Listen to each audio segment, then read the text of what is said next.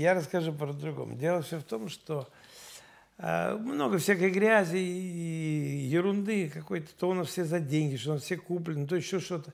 То мы всех покупаем, то нас покупают. Я не знаю, в общем. Но я хочу вспомнить потрясающую вещь. Очень много разных встреч было э, и комплиментов разных, но один раз я встретил режиссера, который шел своим семилетним сыном. И режиссер говорит сыну, Ваня, познакомься. Это дядя делает яролаж. На что мальчик посмотрел на, на папу и сказал, пап, ты что, яролаж дети делают. И вот это для меня, наверное, самое главное была благодарность.